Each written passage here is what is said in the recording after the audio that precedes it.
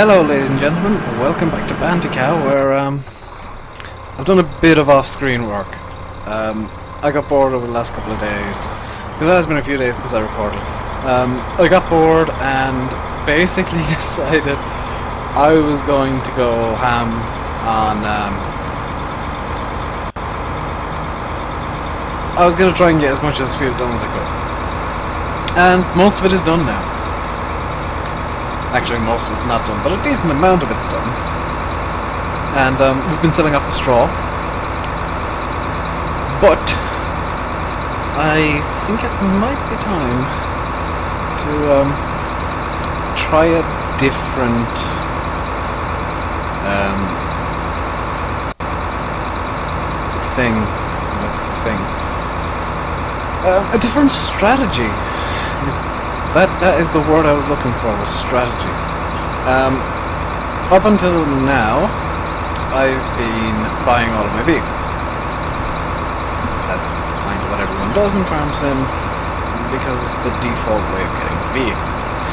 Um, I've actually downloaded the mod what you can use to mod um, the vehicle with machinery rental mod. So what I can do, if I really want to, is um, actually rent a baler. I'm not going to right now, I think. But I may rent a bigger thing with the thingies. Um,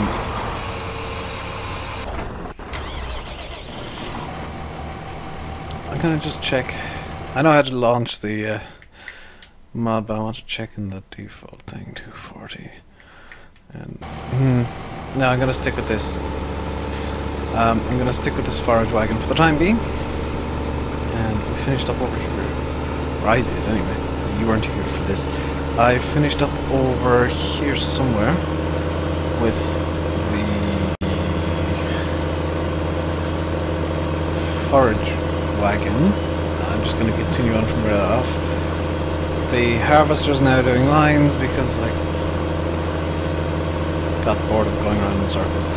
Um, okay, so that hooks up to there, so it should be... I am literally going on what's the most square version of these. So it must be over... Ah, here it is. So let's get the fire dragon on. I'm not going to go for a baler quite yet. Um, because I would like to go for a square baler. Um, at least for no, not even for silage. I can I can use the forage wagon for silage. Why I say square baler for silage? I was gonna say round baler for silage. Um, a square baler at least for straw and hay. I was gonna. I was kind of half thinking, oh well, I could use a square, uh, round baler for silage and wrap it and all that nonsense. But actually, thinking about it, I already have the best solution for silage waste is a forage wagon. Um, I, I, just hook it up after mowing the grass and when drawing it all up and it's sorted. Uh, the reason I got glimpse up, number one, it lets me check the progress of the harvester, which I've told to stop every time it's unloading, because I was getting sick and tired of chasing it around the field um, while I was trying to unload it. Uh, the second reason is the harvester will occasionally just decide, I'm done, halfway around the field. Um, and it has done, which is why I've kind of put it on straight line duties. Or duties, duties, whatever you want to call it. Uh, straight line duty. Um, it got to the point where there was a point, there was quite literally a point on the field where it was under the distinct impression it was finished. So I pretty much said to it, okay, you're done doing roundy roundy, now it's time for uppy downy, um, get going. Lefty righty, I suppose? Easty westy? But, um, I saw a comment, there was a comment left on the first video in this series, um, saying it's a, a nice map, and I agree, I think it's one of the nicest maps there is for if not the nicest map for FS15 so far. And um, I'm really hoping NI Modding comes out with something, not NI Modding specifically, but some group of modders um, some mod team or even one modder comes out with more maps like this. Because the reason I chose this map for this specific format is because I know I'm going to be on it for a while and I wanted a map that, well, I knew I was going to like for a while. Westbridge Hills is okay. Yeah. And, um, you know, if it comes to the point where I've got everything I need to, to win the map, I might change the rules. I reserve the right to change the rules of this series to make it even more difficult for myself if, if needs be, because with the mods I have and even the default stuff, it does kind of take away a lot of the challenge. I mean, the only real challenge there is is I've got four days before I can... For five days because of the... Uh, I can't plant directly. Um, I can't plant right now. I can't plant in this game day. But I won't need to because I've got 40 plus thousand. Saying, oh you don't, you've got 36,000. No I don't.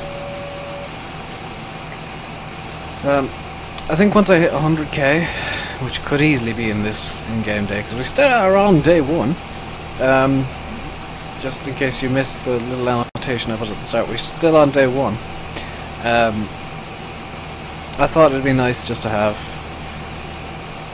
you know, what in-game day we're on as well, for the sake of unnecessary detail or whatnot. Um, so we haven't actually gone that far. We've been on the map for, and I'll tell you now. Um, do do do do do. Where is the time played? Three hours. And most of that, as you know, has been off screen. So I've played a good two and a half, not two and a half hours. Good two hours off screen. Um, which doesn't seem like a lot, but you, you need to remember, I'm not on. Uh, this isn't the only game that I play. I play quite a few games for quite a few reasons, most of them for my own entertainment, some of them um, partially research for uh, the game that I'm helping to develop at the moment, which you'll be learning more about that in the near future, I believe. I'm led to believe. Um, but yeah, I, I don't have much free time at all. I've been playing a lot of Star Trek Online. I've been in meetings. I've been drawing up documents and trying to think up different things that we could use and things like that. And I'm intentionally being vague, but you know we have. I, don't have my fingers in a lot of pots, but the pots are quite big and they try to eat my fingers. so yeah, and I'm recording late today because of reasons. Irish Water, the uh, the contractors for Irish Water, Uisce Éireann, with the world's most ridiculously priced logo, something like 30,000 euros per litre. Um, we're in today installing our water meter, which I think is unnecessary and just a cheap ploy by the government to try and get more tax money in, because I know for sure that's going to go into general taxation, not into Irish water. Um, I would argue that the Irish water is actually illegally funded. It's um, got illegal uh, state um, support. If it is as the government is claiming, if it is an independent company, uh, semi-state is is getting illegal state state aid. Um, but that's just my opinion. That's it. I am anti-water charge. If anybody Irish is watching and you know you know you'll know what that means. Um, anybody else, Ireland historically has never had a charge for tap water, and it's being brought in as part of the bailout that was happened a few years ago, where Ireland essentially ran out of money because a group of corrupt bankers ruined the country. It sounds like I'm you know, was it the 99% or whatever? No, I'm not an Occupy dude. I'm just a realist, um, and I'm stating facts. A group of corrupt bankers ruined Ireland. My combine harvester's gone off on a little tour. Where's it going? okay, you, you do that, I guess. Um, but um, um, as as I was saying before, I was distracted by my combine harvester going walkabouts. Um, basically, the Irish financial system was wrong, entirely wrong for years and years and years, and it didn't matter because Ireland had a lot of money coming in because it reasons I don't understand, and eventually the bubble burst and the Celtic Tiger got shot in the face with a bazooka, and Ireland went broke very quickly. And we're recovering now. God, thank your deities if you don't believe in a specific god, and if you don't believe in God at all, uh, like me, thank the passage of time. I don't know say. Um, so I'm kind of confused because normally if oh, I've gone the wrong way entirely. Normally, if um, I have Firefox open, which I do at the moment, FarmSim lags horribly because um, I don't know if it's specifically my computer or Firefox. It just doesn't like it. It just just no, nope. I was on Skype yesterday with a couple of guys that I'm working with them again, and a couple of links were sent. and I was just like, hang on, five minutes. Firefox has crashed again. I'll eventually see what you've linked me. Um, I'm just gonna move because my knee's starting to look. Oh, that's not very nice. I, mm. Okay. gain composure. Um, yeah. I, I, have been looking at new mods, by the way. I, I haven't just said, oh, well, I've got like 60 mods now. I'm done with getting new mods. Um, no, I've been kind of going through them daily on ls2015.com, ls2015.com, FS UK, mod the farms in Mod Hub, and just there have been one or two that caught eye, but for various reasons, it, I don't trust the scripts they're using, or I did download it. If you looked at the precise right time today, uh, today is the 6th of March, if you looked at it for about, I would guess a 10 or 15 minute period, I actually had an extra mod in my mod list. Uh, it was a John Deere 3650, I believe. Um, because I wanted one of the 36 series, I wanted one of the 3000 series. Um, it was from LS 2015. I'm actually going to double check what tractor it was now, because I'm not 100% sure. Uh, it was a John Deere 3650. That was correct. Um, and it looked good, it looked really nice in the pictures, and the scripts were okay, I don't know how they got... I don't know how they got back on, because as far as I'm aware that script hasn't actually been released yet, they got it on. Um, the issue I found with it well, there's the game stopping up because I had to look at Firefox. Um, hopefully this is there we go. The issue I found with it, the big issue, and it might not seem like that big of an issue to you, but it was for me. Um, there were two actually. One, the textures were eh, just very pixely mess as opposed to the nice high-res stuff we have now in FS15. And I would have used it in FS13, the 3650 I downloaded, but I want, I would like high quality mods, and the texture just wasn't good enough. Uh, the second and the more important reason um, I didn't keep it was it, it was very floaty. Um, I gave it a bit of a drive around with the keyboard and mouse I didn't have my Xbox controller in hand at that time, and it just kind of wobbled its way around. And the camera wasn't fixed; it was wobbling with the tractor, and it. There are problems that I could possibly fix if I had the time and the knowledge, but I have. Realistically, I've got neither. I might be able to get the time together over the couple, over the space of a few days or even weeks, but the knowledge escapes me, and that's where I fall flat on my face when it mod editing. I can um, change capacities and things relatively easily. I took the what was that last uh, 2013. I think it was the Profi Hopper girls that could go like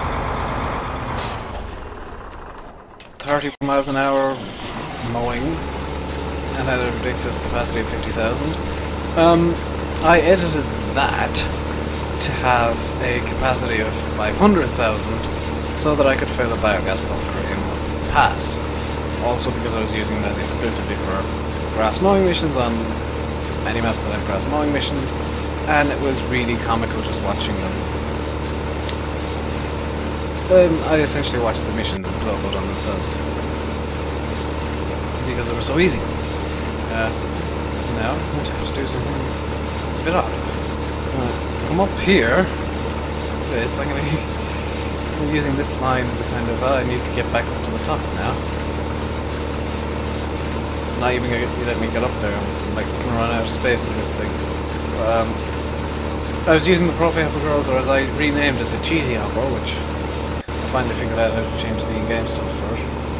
Um, maps I find are a bit easier to edit, like names of maps and credits and that, very easy to edit. Um, that's why when I was doing my map spotlights I came down quite harshly on people who had sample mod map as their map name. Um, that's because it's literally one line in one XML file you have to change to get the map name to appear so I wasn't um, I wasn't best pleased with that. I'm just not happy. Wasn't best pleased, you know. I don't care how good a map is. I don't care how well detailed it is.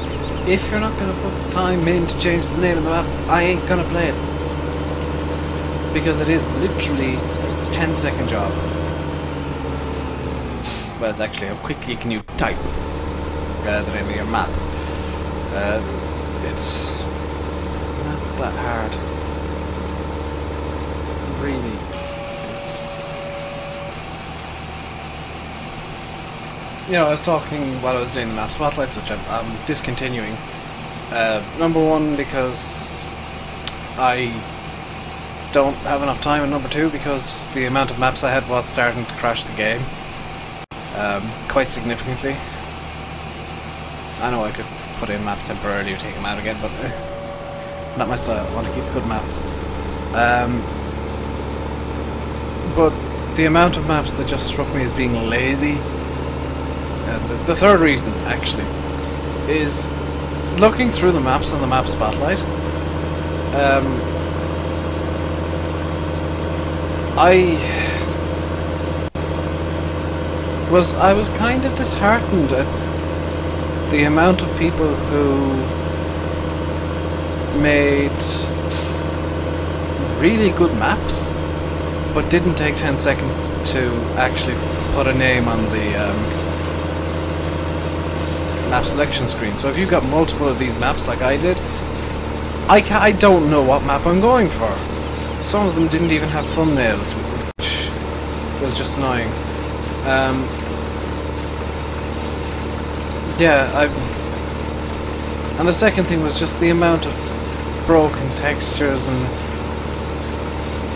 and people who never updated the shaders, and people who had out-of-date stuff, and out-of-date textures, and the files are the wrong format, and the wrong size. When you're going through maps, like I was, I was looking at two, two or three maps a day at one stage, and you just see bad map after bad map. It kind of starts putting you off the game as a whole because you know the modders are supposed to, well giants are supposed to be better than the modders we all know that's not true. The modders come out with far better um, tractors equipment and maps than giants ever will. Um, the issue really is people who I'm going to finish off this thought before I end the episode because one I want to get across. People who make maps and put them up on, you know, Mod Host or 2015, to a lesser extent FSUK, FSUK bets all the mods anyway, but people who put up maps on those sites and put their names on them, why do you put your name on something that's just not good? The Czech discotheque map, the Czech map that was just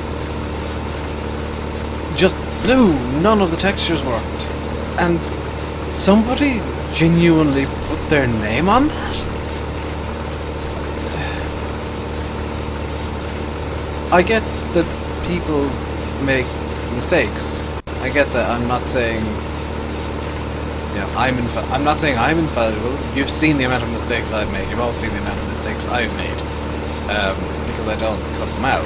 I cut out when there's a failure of some description. Um, whether it's my Xbox controller or my sound card or um, XSplit or OBS decides, oh well, I'm not gonna record this bit because uh, screw you. Um, I cut them out because they're just dead air. Um, but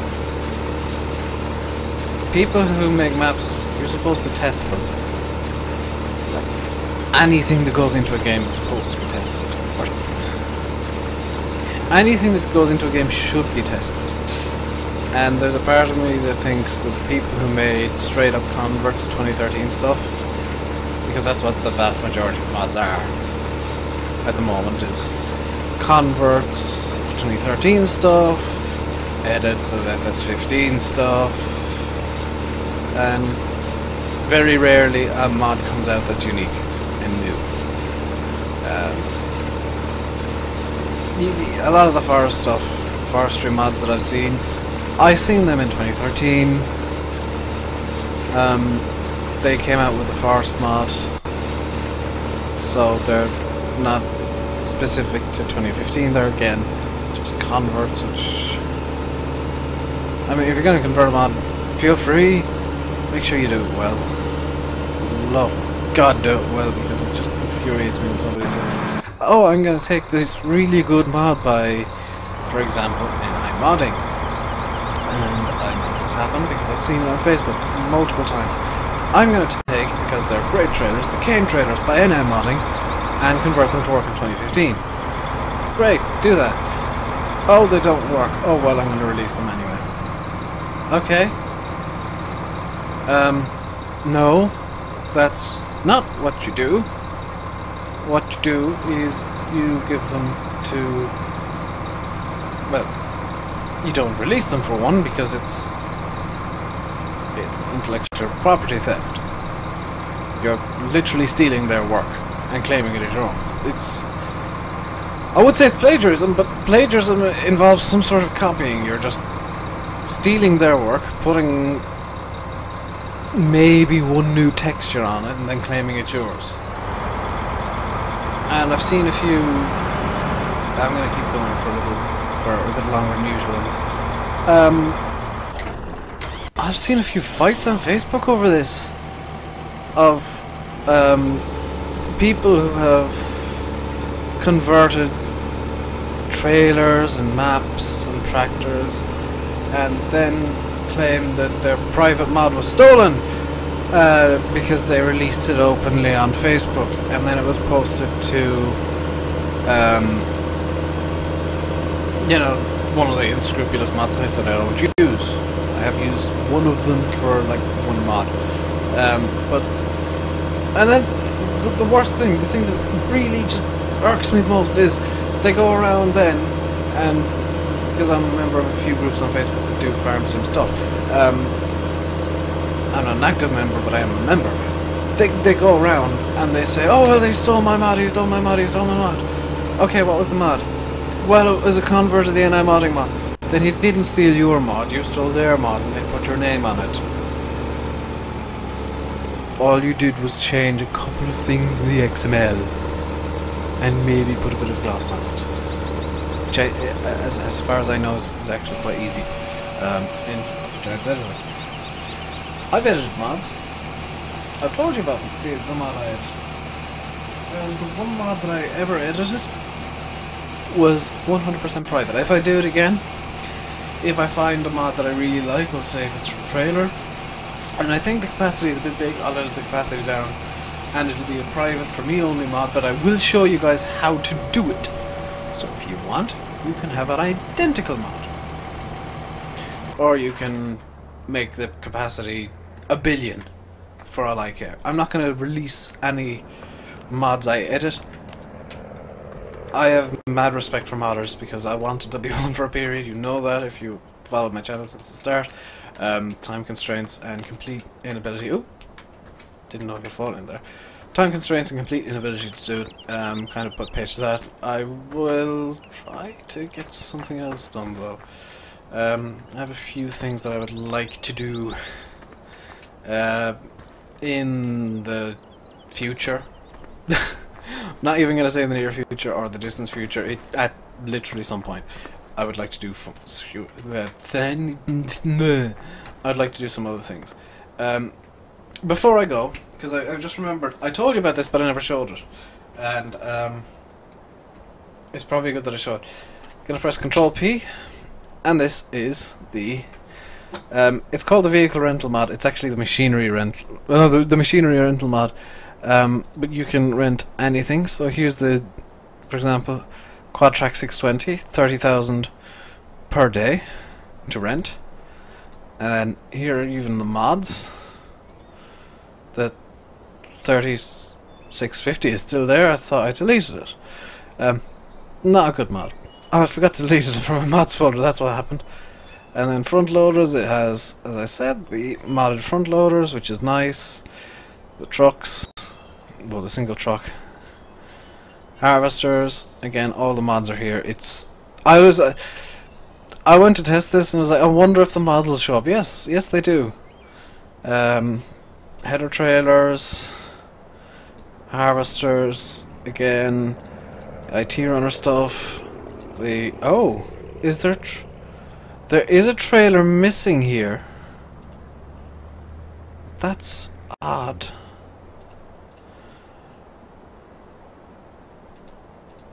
Now I'm gonna have to check. That's there.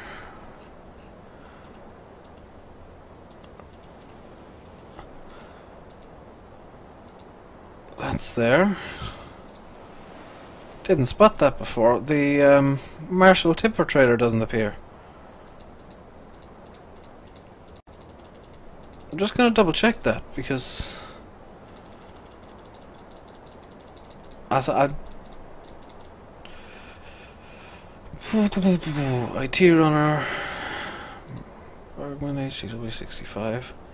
Yeah, there is no Marshall Tipper. You cannot rent the Marshall Tipper, but you can click rent. This is for um, Aldridge, for the seeds. And you can, we'll say if I wanted to rent a baler, square baler. If I wanted to rent the big baler 1290 for 10 days, it would come to 102,400. So if we go into the main shop, there's a reason I'm doing this. We look at the big baler 1290. It's 128,000. So actually, you could get a bit of benefit from renting now and then for uh, one reasonably long period. Um, we'll say if you know for a fact that you're going to get enough money to buy the actual baler afterwards, I think it's worth renting for, you know, two days, two, three days. Buy the baler afterwards, you've got your square bales, your cows are happy, and all that good stuff. So, um, I've been nattering on for half an hour now. I think including my intro, because I've, I've worked it out roughly. Um, so I'm going to say I've been Rainbow Dave, you've been watching Farming Simulator 15 on Bantikow. Hope I said Bantikow at the start because I might have said Holdridge. I've just realised that now. um, please comment, like, and subscribe because every YouTuber wants you to, and it is so helpful. Um, I will see you next time when we'll probably be still working on the field. I'm not going to record another episode today because I have other things to do. Um, thank you very, very much for watching, and until I see you again, which will be in Oldridge Farm tomorrow, and that's already recorded, so ha, I already know. Um, yeah, I'm alternating days between farms, just so that it's kind of breaking stuff up for me and breaking stuff up for you guys, and it gives you something to think about. uh, until I see you again, stay safe and goodbye.